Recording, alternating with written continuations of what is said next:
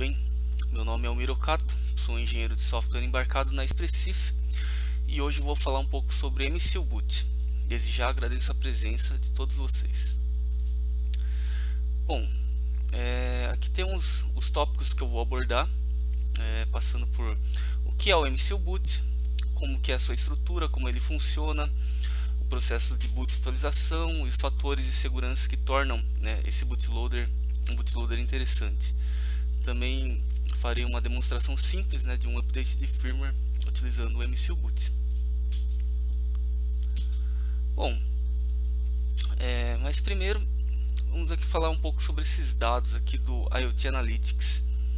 É, hoje em dia o IoT e sistemas embarcados são termos que praticamente se confundem. É, bom, do lado do IoT a gente tem um mercado que está em crescimento.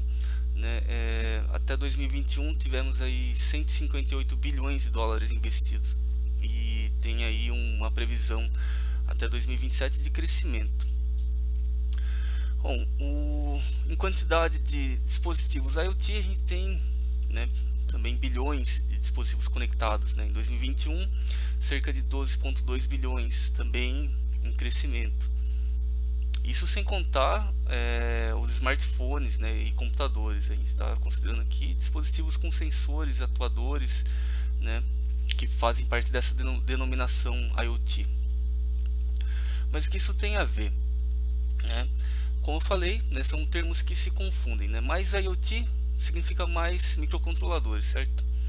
É, temos aí mais conectividade, mais atualizações né, e mais maior preocupação com segurança. É, então, né, com o crescimento do mercado, cresce né, as preocupações. Bom, e o MCU Boot, de uns anos para cá, foi desenvolvido né, com o objetivo de ajudar a tentar resolver esse, esses problemas, né, essas questões né, de atualização e segurança. Então, MCU Boot, como falei, é um bootloader é um bootloader open source, iniciou alguns anos atrás no Minute. É, é ele é voltado para microcontroladores de baixo custo, né, que tem ali pouca flash, pouca RAM, é, baixa frequência de clock, é, baixo consumo de energia. É, e objetivou ali simplificar e padronizar né, um processo de boot seguro e atualização de firmware. Né, e isso dependendo de um layout de, de memória flash bem definido né, para ele funcionar.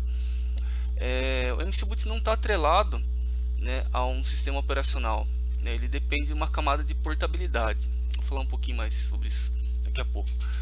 É, e ele tem compatibilidade com o MCU Manager, né, uma outra, um outro projeto ali, né, e o que permite um recovery serial, né, a recuperação do firmware através da, da porta serial. Bom, é, aqui a gente tem os, os RTOS suportados. Né? Como eu falei, o MCBoot ele depende de uma camada de portabilidade. Né? Então ele, faz, ele funciona praticamente como se fosse uma lib, né? que as features, né, suas features estão implementadas e como se você integrasse isso numa aplicação desse determinado sistema operacional. Né? É, então aqui a gente tem o MyUnity, o Zephyr, Cypress, EmbeddedOS, Riot, Nutex, né? e no caso do port da Expressif, ele não é voltado a um sistema operacional, né? mas ele né, permite a compatibilidade com as placas, né, como o ESP32. É, foi implementado um, um, de uma forma um pouco diferente né, dessa, dessa compatibilidade com esses é, sistemas operacionais. Bom, como eu falei, o MCBoot está fortemente estrelado ali ao layout da flash, né? É, aqui a gente divide a flash em regiões, né? Em que uma imagem, né, a imagem do, do firmware, é, ele deve ter é, dois slots, o slot primário e secundário, né, que permite a atualização através da permuta, né? Aí a gente tem também uma área de scratch, né, que auxilia essa permuta, né, essa troca. É, a execução, né, no caso a execução padrão do MCBoot, ele ocorre sempre a partir da, é, da primeira, na primeir, do primeiro slot da imagem. É, e o slot secundário, ele armazena a atualização ou, né, após a permuta, a imagem original, a imagem antiga, né. É, bom, também tem um formato específico para a imagem compatível com MCBoot. Então, existe um cabeçalho, né, um, um sufixo, um trailer que a gente chama de TLV, que contém informações sobre a imagem como o tamanho, né, o hash de assinatura, versão, o estado de atualização, permuta. Né? É, são informações que também tem uma ferramenta chamada Image Tool, né, que é fornecida com MCBoots, que pode fazer essa adição do cabeçalho né, e, e, do, e do te, dos TLVs. É, o MCBoots também permite né, múltiplas imagens. No caso, cada imagem possui no seu slot primário e secundário, né, e né, você consegue fazer atualizações ali é, independentes, né? É, o, no caso do MCBoot ele definiu que a primeira imagem sempre é responsável por botar as outras, né? O MCBoot ele só dispara a primeira imagem e ela fica é, responsável por, por iniciar as outras imagens, né? E o MCBoot ele fica responsável pra, por gerenciar atualiza, as atualizações, né? É, você também tem a é permitido também né, a dependência entre as versões dessas imagens. Então você consegue fazer atualizações que têm essas dependências de versões. Né? Bom, o processo de boot é, do MCBoot, a gente tem aqui três modos é, distintos, né? sendo o padrão, né, o, o que não é, é in place, né, que seria o não direct XIP, ele sempre carrega a imagem do slot primário. É, a gente tem também o DirectX IP, que é a execução in place, né, que executa diretamente da flash. Aí o processo de atualização é um pouco diferente, não tem toda aquela parte da permuta. É, e o run loading também, que é né, parecido com o DirectX mas é você carrega a imagem inteira em RAM. É, e mais voltado para dispositivos que têm mais memória RAM, né, o suficiente. Bom, aqui a gente tem né, o o nosso fluxograma né, do, do como funciona, partindo dele né, desde o reset do, do dispositivo né, e aí primeiro é feito o bring up básico da placa. Você entra aqui nas rotinas do MCU boot né, e tem algumas verificações a serem feitas né, antes do boot. Então pode ser que é, alguma permuta estava em progresso, né, quando antes né, de, do reset Caso, é, caso tenha né, um, um, uma permuta em progresso, né, que tenha sido interrompida, a gente vai para a etapa de finalizar essa permuta e depois fazer o boot da, da imagem. É, se não não tinha não estava ocorrendo nenhuma permuta, a gente vai para a verificação da, da, da confirmação da imagem. Né? É, a imagem, né, no caso, tem um campo de confirmação ali, se ela é uma imagem estável ou se é uma imagem é, ok, é, para ser verificado no, no boot. Então, aqui a gente tem três possibilidades, né? Uh, confirmado, ou que foi uma permuta foi requisitada, ou não confirmada. É, caso né, a confirmação, é, caso tenha ocorrido a confirmação da imagem, você vai para verificação se é uma imagem válida no, no primário. É, caso não seja válido, vai acontecer um erro, né? vai parar o processo por aí. E caso seja válido, vai para o boot né? da, da imagem corrente. Caso uma permuta tenha sido requisitada, também vai para uma verificação, daí no caso a verificação do, do, da imagem que está no slot secundário, né? e no caso está ocorrendo a, a atualização. Então, é, se é, a, imagem que está no, no, slot secundário for válida, acontece a permuta de imagens e o boot. E caso não tenha sido não tenha sido validado, é, vai acontecer um, vai ser apagada a imagem do slot secundário e vai continuar com o boot da imagem original ali que né, não, acabou não ocorrendo a permuta, então era a imagem original no slot primário. Caso aquela imagem não tenha sido confirmada aqui nesse passo, vai acontecer um revert. Né? Então quer dizer que pode ser que anteriormente tenha ocorrido uma permuta, aí depois do boot dessa imagem nova, essa imagem não foi confirmada, e aí nesse boot atual é, acontece esse revert, esse rollback, né? e aí continua para o boot da, da imagem que está no slot primário, que é aquela imagem anterior né, a esse revert. Bom, e o processo de atualização né, é bom, mais ou menos como eu expliquei ali no processo de boot. É, a gente tem o processo de atualização por permuta, né, dito por padrão ali do MCBoot. E há três formas né, que você pode escolher é, construir seu MCBoot né, para fazer, fazer a atualização. Então você tem aqui a permuta através da área de Scratch, que é essa área auxiliar. É, ela ocupa mais espaço em flash, né, mas permite ali a, a, os mecanismos de, de recuperação e rollback.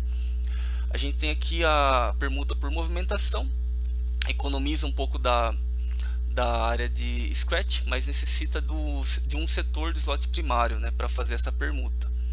E você tem o, o a permuta por, é, por overwrite, né, que sobrescreve o slot primário, em, ocupa menos espaço, né, porque não tem um, precisa de uma área auxiliar, mas aí ele não suporta o fallback né, da, da imagem, né, caso né, a imagem é, não tenha sido confirmada ou, tenha acontecido algum problema, é, não é possível fazer o, o fallback porque né, não existe mais aquela imagem, foi sobrescrita. E no caso do DirectX IP ou Unloading, né, não ocorre a permuta e o MCBoot ele escolhe qual imagem é, iniciar através de uma flag indicativa e a versão né, mais recente. É, já na camada de aplicação, né, é, o, a camada de aplicação deve ter um agente atualizador que conheça o layout de MCBoot e que implemente as APIs do, da libbootUtil do MCBoot para fazer a confirmação de imagem né, posterior à, à permuta, né, o processo todo de atualização, que vai indicar que essa imagem é estável né, e vai fazer com que ela não seja revertida no próximo boot. Bom, aqui a gente tem o diagrama de sequência aqui do, da atualização, né, da, no caso é a atualização através da permuta, é, aqui em que a, a, o, agente a, o agente atualizador né, na camada de aplicação vai requerir né, ou vai ser avisado de que há um, uma atualização de imagem, né, aí o servidor de atualização vai né, enviar a imagem, né, a aplicação vai fazer o download. Né, pode ocorrer aqui um, é, uma verificação né, na, na, camada de, de, de aplicação. É, vai ser armazenada essa, essa imagem nova no slot secundário e vai ser reiniciado o dispositivo. É, então, no, quando for reiniciado o dispositivo, vai acontecer aquele processo de boot, né, que foi explicado lá atrás, que é a verificação né, do, da, da imagem no slot secundário, vai acontecer a permuta né? E aí vai finalmente fazer o boot da imagem já atualizada, né? É, a aplicação pode validar, né? Esse, esse, essa imagem nova, pode fazer algum self-test, né? Algo assim, e vai marcar que a imagem é estável, vai marcar ela com, como confirmada, né? Vai marcar ali o campo que está ali nos TLVs é, como confirmado e aí o próximo boot vai ocorrer sempre com essa imagem é, atual. Bom, é, o MCBoot ele oferece alguns fatores de segurança nessas diversas etapas. Né? É, você tem a verificação de integridade através da verificação do hash, você tem a verificação de assinatura, né, que pode ser é, através de chave RSA, é, de curva elíptica EC256, ED25519. Né? Aí você tem lá ali a, o script, né, a aplicação auxiliar que pode gerar, né, o, o image tool pode, pode gerar essas chaves de assinatura e também ele assina, né, colocando o cabeçalho, né, com a, com a assinatura correta e os TLVs. É, também possibilita é, a imagem ser criptografada, né, dificultando aquele o, né, o acesso né, do, dos dados da, de código da imagem, né. é, é suportado ali o, o algoritmo AES-CTR e também é tolerante a falhas né, durante as permutas né, e permite o rollback caso a, a imagem não seja confirmada. Então se torna é, né, esses mecanismos, né, esses, esses procedimentos, eles tornam o MCBoot um bootloader mais robusto, né, que permite é, uma construção de uma cadeia de segurança, né, ali desde você é, autenticar que, né, que o, a imagem que está sendo iniciada é uma imagem conhecida, né, através da verificação de assinatura e né, a, com a criptografia se consegue né, é, proteger os seus dados também. Né. Bom, aqui vamos para demonstração. É uma simulação de atualização simples, né, com assinatura é, EC256. É, eu estou utilizando o ESP32, né, que tem essa essa, é, essa organização de flash, né, que você tem o bootloader nesse endereço, né, o slot primário, o slot secundário e a área de scratch. Né. Vou tentar é, mostrar um pouco disso né, na prática. Bom, aqui para mostrar né, a configuração da organização da flash, temos aqui o, o endereço do, do bootloader, do slot primário, do slot secundário, e da área de Scratch. No caso, o port da Expressif se utiliza né, da, do mecanismo swap scratch, né, ou de permuta com aquela área é, auxiliar. Bom, aqui a gente está habilitando a assinatura EC256, que é, é, necessita da libtinycrypt. E aqui a gente está usando o, o, arquivo né, da chave. É, aqui essa chave é a chave padrão que vem no uma das chaves né, de exemplo que vem no repositório do MCBoot. É, é recomendável né, você gerar a sua própria chave, né, claro. Bom, então aqui a gente está né, no repositório do MCBoot, né, vou utilizar o port da Expressif. Né, vou, opa, vou pegar aqui minha colinha aqui. Os comandos são um pouco extensos. Que a gente vai estar tá compilando então o MCBoot para ESP32.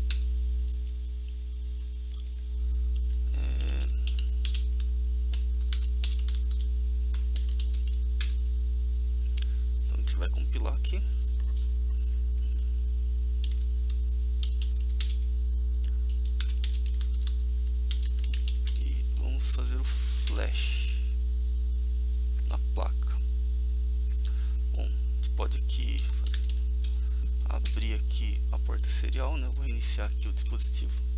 Né? Então, o MCBoot foi gravado, né? Por enquanto a gente não gravou nenhuma imagem. Então, claro, não vai acontecer nada né? de boot, né? não vai iniciar a imagem. Eu vou colocar aqui, então, gravar aqui já tem alguma, é, duas imagens pré-compiladas, né? uma imagem que seria a imagem original e uma de atualização. Eu estou utilizando o, é uma aplicação Zephyr. Aqui vale comentar que o port do, da Expressif, né, é, tem um pessoal até que chamou o port de port bare metal, né, porque é, ele está voltado né, para né, os chips né, da Expressif, né, e né, você pode ter a compatibilidade de outros RTOS né, com o MCU né, para o ESP32. Então aqui, por exemplo, tem uma imagem do Zephyr que vai rodar aqui, mas né, tem também um, um, um port de compatibilidade do Nutex, né, que também é compatível utilizando com o MCBoot na ESP32. Então aqui eu primeiro vou fazer a assinatura dessa imagem, né, é, aqui a gente tem o Image Tool que eu citei anteriormente. A gente vai estar tá assinando. Né, tem algumas, alguns parâmetros aqui. Aqui a gente indica que a imagem é, já vai ser confirmada, né, já vai estar confirmada. É, aqui a gente indica a chave, né, no caso aqui, como eu falei, a chave, uma das chaves de exemplo do MCBoot. É, aqui está o meu binário né, da aplicação e aqui a saída que seria o binário assinado. Assinamos a imagem e vamos fazer a gravação dessa imagem no slot primário primeiro, primeiramente, né?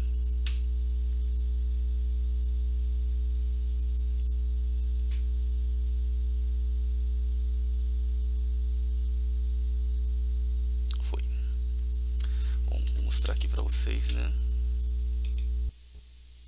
Então temos aqui um, um Hello World aqui, né?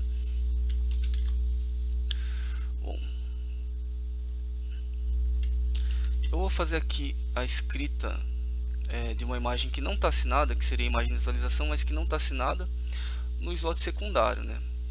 Estava aqui nesse endereço, é o slot secundário. Então vou fazer o flash da imagem de atualização sem assinatura, só para mostrar para vocês que né, o MCBoot ele não permite né, atualização.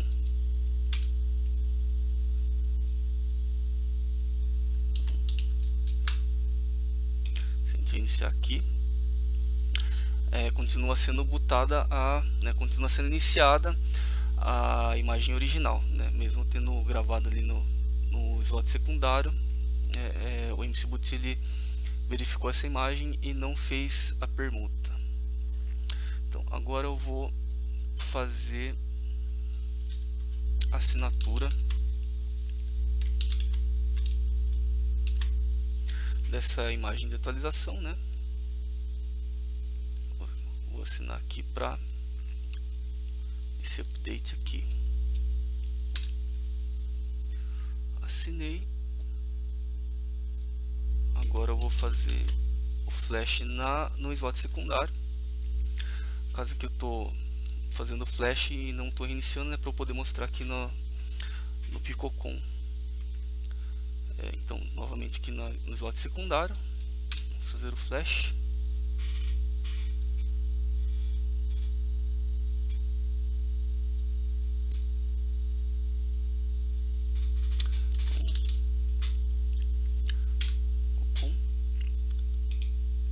Então aqui a gente iniciou né, o swap, imagine que reiniciou. Mesmo assim, né, no meio da, da caso tenha acontecido uma queda de energia, o MCBoot conseguiu se recuperar e conseguiu né, fazer o, o update. Terminou aqui o, o, a permuta e fez o boot. Então se a gente reiniciar aqui de novo o dispositivo, né, ele iniciou a imagem já atualizada, né, que foi copiada para o slot primário é isso. A gente pode ver que o MCBoot ele tem alguns mecanismos que permitem essa robustez né, no projeto de firmware. Então, você já tem ali é, padronizado uma forma de update, então a camada de aplicação tem que se preocupar com menos coisas, né? menos, é, existe uma menor complexidade. Bom, aqui temos as referências, né? Documentação do MC Boot, né? tem uma apresentação do David Brown, que é um dos, é, um dos uma das cabeças pensantes ali do MC Boot, né? É, e também tem esse artigo aqui é, de um guia de porting né, do MC Boot. Também tem bastante informações legais ali. Bom, por hoje é, é isso, né? Agradeço a atenção de todos e obrigado e vamos para a sessão ali de perguntas e respostas. Então, muito obrigado, até mais.